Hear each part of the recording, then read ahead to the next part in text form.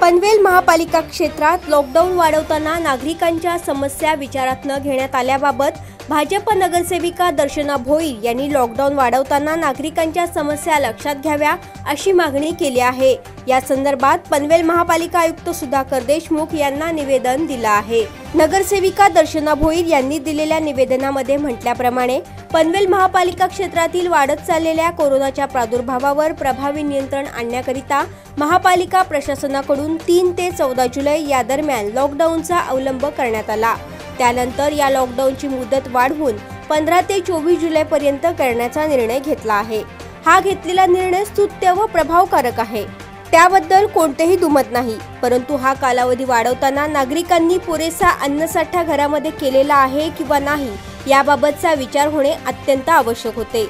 त्याकरिता नागरिकांना थोडा कालावधी देणे अत्यंत आवश्यक होते. जेणेकरून त्यांनी आवश्यक असलेल्या जीवनावश्यक वस्तूंचा साठा करून घेतला असता व नागरिकांची गैरसोय टाळणे शक्य झाले असते. तसेच लॉकडाऊन वाढवत असताना लोकप्रतिनिधींना विश्वासात घेणे आवश्यक होते कारण लोकप्रतिनिधींना जनतेने निवडून दिलेले आहे व नागरिक आपापल्या समस्या लोकप्रतिनिधींकडे मांडतात. कालावधी वाढवण्याबाबत लोकप्रतिनिधींना काहीही माहिती नव्हते. लॉकडाऊनचा कालावधी वाढवण्यापूर्वी नागरिकांना आवश्यक साहित्याचा साठा करण्यासाठी काही कालावधी देण्यात यावा अशी मागणी नगरसेविका दर्शना भोईर यांनी केली आहे. पनवेल आणि नवी मुंबईच्या ताज्या घडामोडींसाठी मल्हार टीव्ही न्यूज सबस्क्राईब करा आणि बेल आयकॉन दाबून रहा अपडेट.